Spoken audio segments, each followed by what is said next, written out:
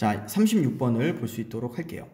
Making a small request that people will accept will naturally increase the chances of their accepting a big request afterward. 자, making a small request that people will accept. 이 대신 이제 관계 대명사 사람들이 accept 받아들이다 받아들일 작은 요구 사항을 요구를 make 만드는 것은 그러니까 하는 것은 이렇게 동명사 주어. 하는 것은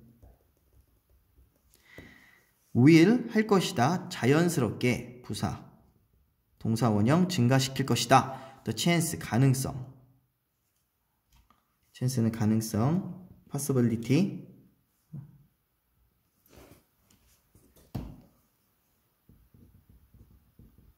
뭐에 대한 가능성? 그들의 아니구나. 오브가 이제 전치사잖아요, 여러분. 그러면 이제 accepting이라는 동명사가 왔고요. 이 대열은 그들애가 아니라 아 잠깐 이렇게 필기를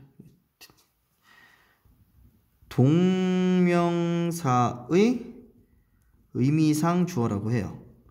여기 of 뒤에 accepting이었잖아요. 그들의 받아들임이 아니라 그들이 이게 주어처럼 이게 동명사의 주어인 거야. 그러니까 of가 전치사고 전치사 뒤에는 명사나 동명사, 앞전, 위치할 치 명사사, 전치사 뒤에는 명사가 와야 되거나 동명사가 와야 되는데 그럼 받아들이는 것의 가능성인데 이거는 그들의가 아니라 그들이 이렇게 해석해야 돼요. 주어. 누가? 동명사의 주어. 그들이 받아들일 더 큰 요구사항, afterward는 이후에 그럴 가능성을 자연스럽게 증가시킨다. 뭐가?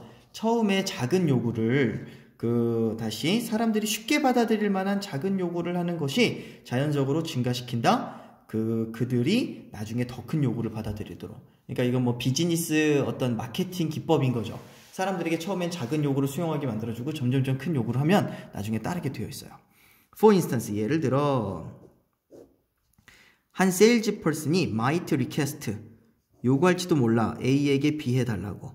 자, 너에게 사인해달라고. petition은 이게 청원서예요. 청원서가 탄원서.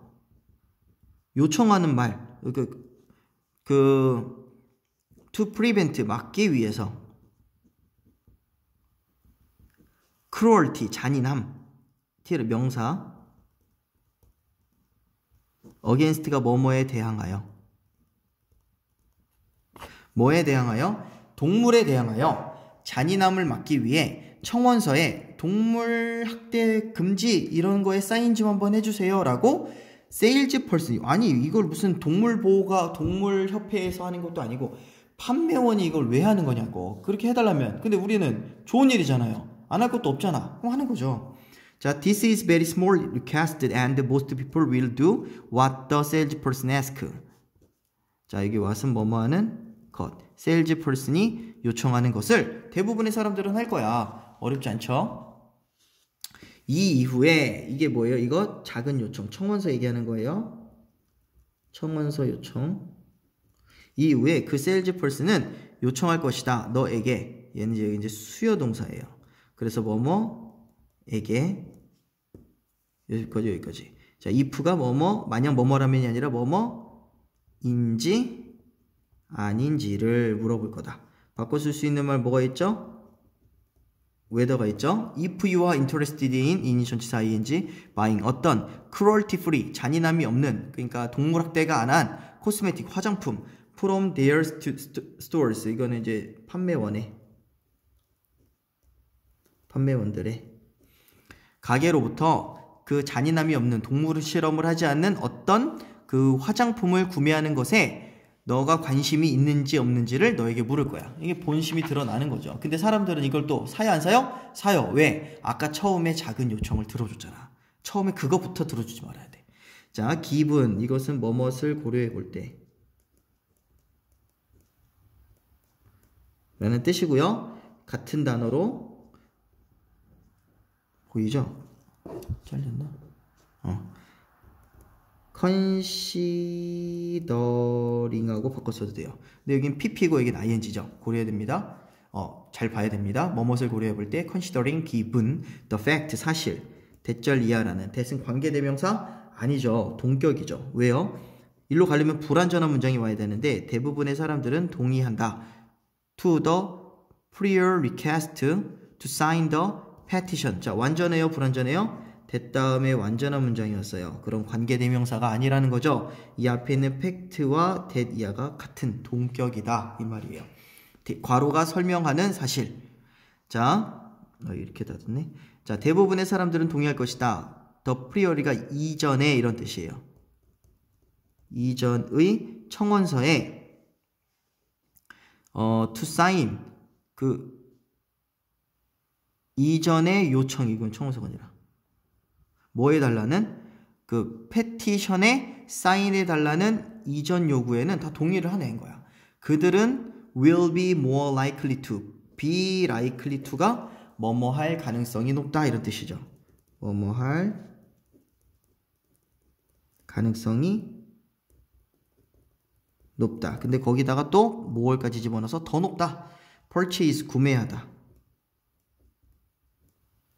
buy예요, buy.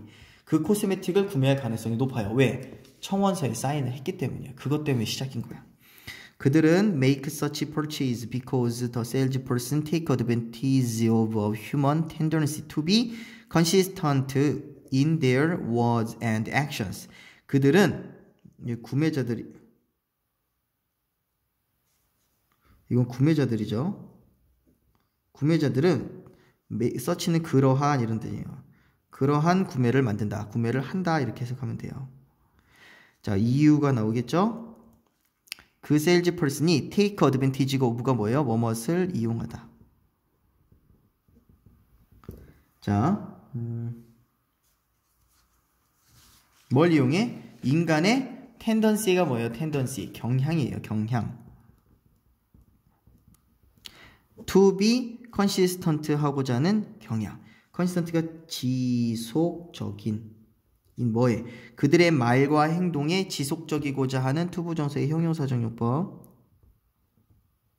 하고자 하는 인간의 경향을 이용하는 것이다. 알겠죠? 어... 그래서 처음부터 그런 거 이렇게 셀즈 펄슨이 동물학대 이러면 그, 그 청원서부터 받지를 말았어야 돼.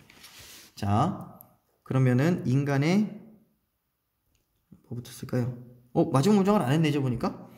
사람들은 원한다. be consistent, 지속적인. 그리고 will keep ing, keep ing도 뜻이 똑같아. 계속 뭐뭐 하다. 계속 할 것이다. yes라고. if는 이제 만약 뭐뭐라면입니다. 만약 그들이 이미 말했다면 have, pp, 이, it을, it이 뭐겠어요?